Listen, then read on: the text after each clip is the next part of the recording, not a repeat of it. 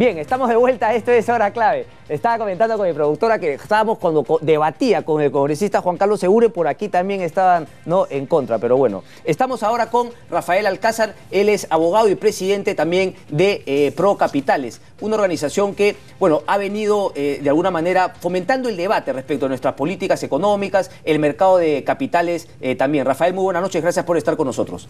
Gracias, Cristian, gracias por la invitación y acá a disposición para poder llevar algún tipo de punto de vista relacionado con lo que ha pasado en último foro de Procapitales. Cuéntanos un poco, política económica y mercado de capitales, ¿qué es lo que se ha visto y sobre todo cuáles son ¿no? las expectativas de cara a la economía en nuestro país? Sí.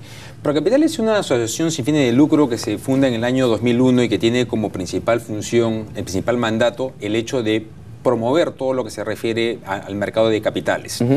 Y en esta ocasión, el día eh, martes, tuvimos por cuarto año consecutivo el Foro de Políticas Económicas y de Mercado de Capitales, que es una base y es, digamos, un evento que convoca al sector público con el sector privado a efectos de poder hacer un análisis y una, digamos, una revisión de lo que se ha hecho respecto de temas de políticas, digamos, más que, más que económicas en el mercado de capitales, del punto de vista público y qué es lo que el sector privado propone.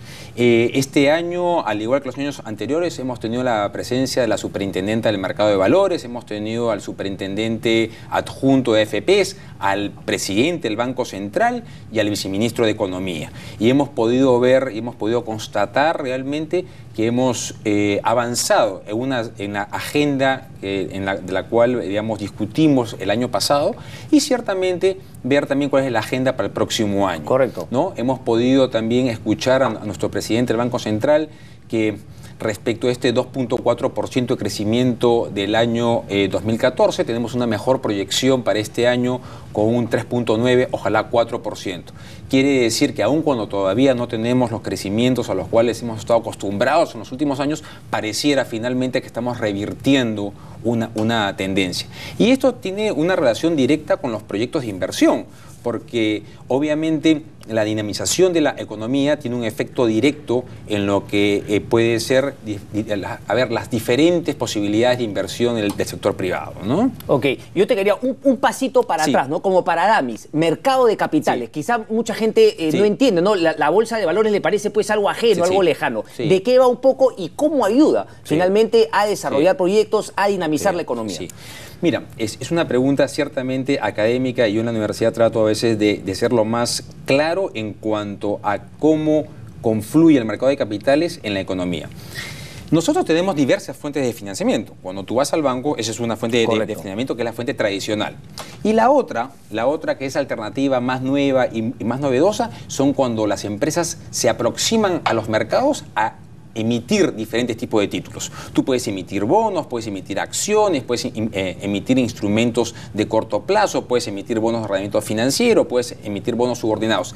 Las empresas pueden financiarse no solamente con los bancos, sino dirigiendo este tipo de ofertas a los inversionistas. ¿Cuáles son los inversionistas más importantes que tenemos hoy día en el Perú? Tenemos obviamente a las AFPs, el inversionista más importante institucionalmente, nos decía el representante de la superintendencia eh, de banca el día martes, que estos inversionistas manejan hoy día 40 mil millones de dólares. Después tenemos a los fondos mutuos, tenemos también a las compañías de seguros y un inversionista también importante son hoy día las personas naturales. Eso. Okay, las personas naturales hoy día... ¿Qué porcentaje, qué porcentaje del dinero, digamos, que fluye hacia el mercado de valores? Bueno, yo creo que es, es, un porcentaje que va creciendo. Okay. Difícil de dar una, una, cantidad hoy día porque me parece que tenemos las cantidades mucho más claras desde el punto de vista de los fondos mutuos, las compañías de seguro y las, las AFPs. O sea, que entre esas tres, digamos, que son los institucionales, eh, ¿está el 90% o más? sí, yo, yo diría que el 90% o algo más. Ok pero no podemos dejar de decir que las personas naturales hoy día comienzan a tener, digamos, eh, una suerte de eh, interés importante en no solamente tener los dineros que ciertamente están muy bien cuidados y que generan algún tipo de rentabilidad en los bancos, sino, por ejemplo, hay, hay que ver cómo los fondos mutuos han podido incorporar a las personas naturales, teniendo ellas una expectativa de rentabilidad digamos, a través de este vehículo intermedio, a través de un agente, digamos, profesional, de gente muy técnica, que tiene regulación por parte, de la, digamos, de la Superintendencia de Mercado de Valores, a efecto de poder canalizar el ahorro también a la, inversión. ¿no? Entonces, creo que hoy día hay un, digamos, un escenario mucho más, digamos, eh, proclive a la inversión por parte de estas, de estas personas, pero que, este, digamos, hay que, hay que ver, es un proceso paulatino, Cristian. Correcto. Nosotros a veces este, eh, eh, tenemos la tendencia a mirar el medio vaso, digamos, vacío, hay que, hay que ser en esto también optimistas porque el Perú ha avanzado de manera importante en cuanto a temas de, regulación, en cuanto a tipos, digamos, de operaciones. Hace 20 años no se veían operaciones que hoy día se ven en el Perú, del punto de vista de ingreso de inversionistas, digamos, extranjeros, sofisticación, el tema de las AFPs, cómo han impulsado el tema, digamos, de las inversiones. Y eso, yo te quería preguntar, porque ¿cuánto ayuda el mercado de, eh, de capitales, digamos, a eh, formalizar un poco más nuestra economía, institucionalizarla. Hay gobiernos corporativos, creo que eso sería bueno que le expliques al público, ¿no? Porque cuando una empresa quiere entrar a la bolsa de valores, tiene pues que ordenarse y ser transparente, ¿no? Eh, eh, digamos, someterse a auditorías, digamos, fomenta también un poco la transparencia, ¿no? en las empresas. Cuéntanos un poquito, ¿por qué? ¿Cómo ayuda el mercado de valores? Mira, el mercado de valores, dichas, a ver, todo mandato que tiene que ver con estos inversionistas, como las AFPs, las compañías de seguros o los fondos mutuos son inversionistas que están regulados y ellos requieren de un determinado nivel de transparencia, ¿ok?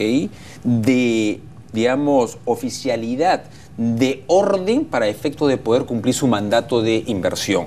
Entonces, ellos de alguna manera propugnan que haya gobierno corporativo, que esta suerte de orden corporativo en las empresas a efectos que puedan tener un, digamos, una información adecuada al mercado. Información adecuada al mercado en cuanto a tema de transparencia, en cuanto a la oportunidad en la que se da, en cuanto a la cantidad de información que recibe el mercado. Sin duda que el mercado de, de valores ha sido un propulsor importante en el desarrollo de eh, gobierno corporativo en el Perú. Correcto. Porque además eso tiene un efecto, esto no es un tema lírico, esto es un tema económico, porque las empresas pueden acceder a mejores fuentes de financiamiento, a mejores condiciones, a mejor plazo en cuanto tengan mejor gobierno corporativo, porque los inversionistas institucionales son inversionistas que no entran a controlar, razón por la cual requieren de una transparencia. ¿ok? Entonces yo creo que el tema, y en Procapitales, dicho ese paso, hemos tenido un mandato, digamos, un primer mandato, que es esta interacción con las autoridades a efectos de, digamos, dinamizar una discusión importante con ellas en lo que está pasando en el mercado de capitales, pero el otro mandato importante es el que tiene que ver con el gobierno corporativo. Y ahí nosotros hemos cumplido conjuntamente con otras instituciones, conjuntamente con el regulador, conjuntamente con la Bolsa de Valores, digamos, hemos coadyuvado a que esto sea una realidad. Y hoy día en el Perú, digamos, ya hay empresas tenemos tres empresas, por ejemplo, peruanas, que están en una suerte de digamos, eh, de, círculo privilegiado, de reconocimiento de, a nivel internacional de lo que son estándares de gobierno corporativo. Correcto, eso, es lo que planteaba, ¿no? Un poquito eh, lo que ayuda. Ahora, ¿qué tan desarrollado está? Porque me imagino, estamos creciendo, está, eh, pero estamos en pañales todavía, es decir, hay mucho, si nos comparamos con Chile, con Colombia, se ve al lado del Mila, ¿cómo estamos por ahí? ¿Hay mucho por desarrollar todavía? Yo creo sinceramente que ya no estamos en pañales. Déjame, déjame, decirte esto con todo orgullo, digamos, del punto de vista de de alguien que tiene cierta cercanía a estos elementos. Yo creo que si bien es cierto hay cosas por hacer, el nivel de gobierno corporativo en el Perú ha mejorado de manera, digamos, importantísima. Ok. ¿Que hay cosas por hacer? Siempre las hay. Ok. okay? Pero yo me refería, por ejemplo, a la cantidad de empresas que se buscan financiar, ¿no? A través de esta, esta manera alternativa, ya no de los bancos, y también de las maneras, yo me acuerdo eh, estudiando en Londres, ¿no? Que, que decía un profesor nos decía, bueno, ¿quién tiene acciones en, ¿quién, tiene acciones en bolsa? Y por ahí algunos estudiantes lo veían como algo ajeno. Había mucha gente que era de países latinoamericanos, pero los europeos, por ejemplo, todos tenían un saldito, un extra, y todos no se informaban, entraban en internet, veía, y todos tenían alguna apuesta no en alguna empresa, y eso los hacía un poquito involucrarse más con el, con el sistema financiero. Mira, tienes toda la razón, pero yo creo que hay un tema acá también, Cristian, desde el punto de vista cultural, ¿ok? Esto, los, patrones culturales no se cambian de un momento a otro, ¿ok? Este, eh, la inversión en, acciones yo creo que es un tema que va a tomar además que, digamos, este, probablemente algún banquero pueda hablar, digamos, con mucho más autoridad que yo desde el punto de vista técnico, pero este es un mercado, digamos, más de bonos antes que de acciones. Correcto, aquí. Lo que, pasa, acá, acá se emiten títulos de renta fija, si tú ves cuáles han sido los volúmenes de emisión son principalmente de bonos, instrumentos de corto plazo o de otro tipo de, pero siempre de renta fija. No es un mercado accionario. ¿Por qué no lo es? Hay una serie de razones para ello. Pero lo que sí te puedo decir es que, por ejemplo, la mayor cantidad de inversionistas entrando a invertir a través de fondos mutuos sí muestra una, una tendencia, donde la gente comienza a abrir sus expectativas y comienza a abrir, digamos, sus posibilidades respecto de lo que es no solamente invertir o dejar estos dineros en otros sistemas tradicionales, sino como también entrar al tema de mercado de valores. Correcto, pero ya las personas comienzan a monitorear un poco más de dar tu plata y esperar a fin de año, cada vez, eh, cada cierto tiempo revisar a ver cómo va, o también traquear un poquito qué se está haciendo con su dinero, en qué están invirtiendo, en qué no. También hay eso, que creo es fundamental para ese cambio cultural. fundamental. El tema de la información, el ida y vuelta. Hoy día el inversionista, persona natural, también demanda una suerte de transparencia y de temas de información y de temas de monitoreo, digamos, este, permanente. Por ejemplo, los fondos mutuos este, tienen una, una norma en la cual tienen que eh, valorizar diariamente. Y es algo que, digamos, de acceso al, inversionista. Entonces, este inversionista tiene la posibilidad de poder ver cómo va su inversión de manera diaria. Aunque yo creo que en esto, digamos, se ha avanzado de una manera muy importante en el Perú y creo que el mercado de valores, y déjame decirte algo porque hay, hay un asunto muy importante. Esta semana se ha publicado una norma por parte de la Superintendencia de Banca y Seguros que realmente eh, flexibiliza y de manera promueve de manera importante otro tipo, o digamos, Em, las inversiones, las AFPs, en diferentes otros productos o en todo caso en una, mayor gama. Estaban un poquito, ¿no? Siempre, siempre es un proceso paulatino. Es un proceso paulatino. Podemos, tal como lo dijo eh, este, nuestro superintendente adjunto de AFPs en, el evento de Procapitales, ya son 22 años, tenemos algún, algún nivel de madurez, son 40 mil millones y la norma que se ha publicado durante esta semana realmente le da más posibilidades a las AFPs para poder invertir en una serie de, productos, que es una suerte de dinamización también en el tema de lo que se refiere a las inversiones. Correcto. Eh, Rafael, tú dijiste un tema muy importante que parece que se puede empezar a revertir la tendencia, pero yo te tengo que preguntar, ¿cuáles son los fundamentos para pensar que la tendencia puede estar revirtiendo? Sí.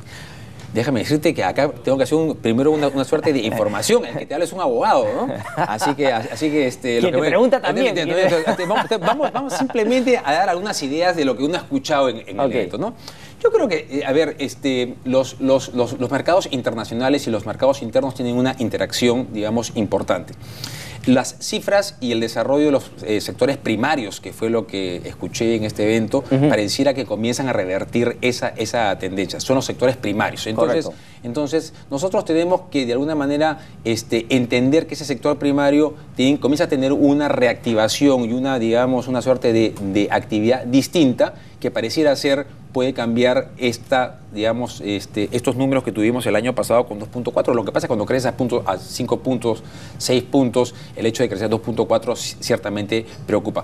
Pero también creo y en, y, en, razón directa a lo que eh, sucede mañana, que ha, sido, digamos, materia de tu conversación con el invitado que me antecedió, mañana tenemos un momento muy importante. Porque más allá de los factores políticos, y obviamente esta es, una, es una entrevista más técnica que política, pero sí tiene que ver con un tema político el día de mañana. Porque el día de mañana se discute el tema de las facultades delegadas.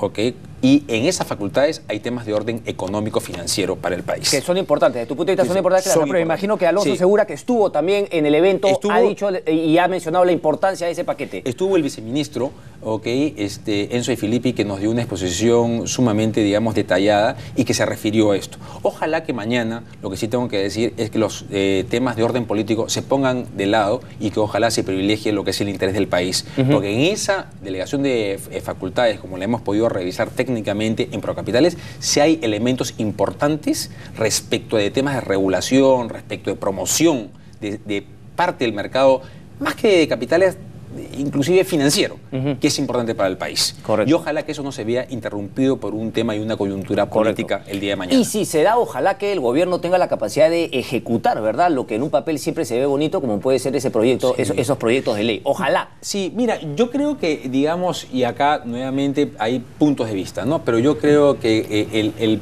ah, Poder Ejecutivo tiene la capacidad técnica para poder justamente, eh, digamos, ver y analizar estos temas de manera tal que sean, digamos, de manera importante un factor de promoción, de un, un factor catalizador para que sigamos avanzando. Correcto. Una última pregunta, Rafael, Sí. porque ayer tenía justamente no eh, eh, eh, a dos, bueno, a Andrés Stiglitz y Carlos Ganosa, que ha escrito un libro muy interesante que El Perú está calato. Y habla obviamente de que hemos tenido una bonanza, pero no es pues no el take-off ni, ni, ni que ya estábamos cerca de entrar a los países del primer mundo, porque hay todavía cuellos de botella, carencias institucionales, la necesidad de partidos políticos. ¿Concuerdas tú con eso? ¿Crees que hay que hacer esas reformas de segunda generación que no se hicieron en los 90 para finalmente no ser un tema de bonanzas, de booms, de eh, subidas y bajadas, sino poder tener, digamos, un camino claro? Siempre van a haber, ¿no? Eh, momentos mejores que otros, pero por lo menos tener las bases sólidas para poder llegar al primer mundo. Sin duda, yo, yo coincido. Yo creo que desde un punto de vista, digamos, financiero, económico, de las entidades que están alrededor, por ejemplo, de lo que es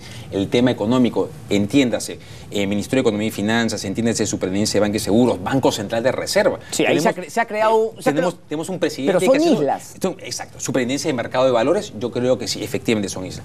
Yo creo, pero son instituciones, también debemos reconocer en esto, Crista, que son instituciones más fáciles de poder, digamos, de una manera reformar o, o- o mejorar. Y ese trabajo ya se hizo, ¿ok?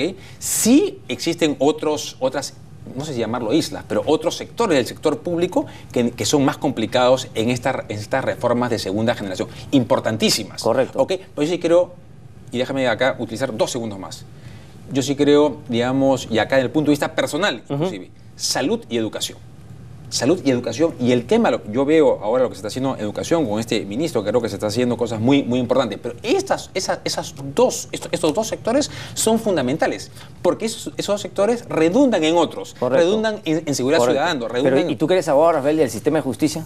¿El Poder Judicial? Sí, sí, bueno, me has tocado un punto álgido. Está- está- eso ya viene otro programa, otro. En, otro, en otro programa podemos hablar. Yo creo que se han hecho algunas mejoras, pero yo creo que todavía, efectivamente, tal vez, y en esto hay que reconocer, y no es una crítica, porque yo creo que tenemos jueces probos, tenemos policías probos, ¿ok? Pero sí creo que lo, lo más complicado va a poder ser tal vez entrar a una, una reforma de segunda generación en, en el tema eh, eh, eh, PJ, Poder Judicial, Fiscalía y Policía. Policía. Pero que son sectores sociales de número y de complejidad totalmente distintos. Pero justamente más razón para empezar y allá. Sin duda. Rafael Alcázar, un placer. Muchas gracias, Muchas gracias. Cristian.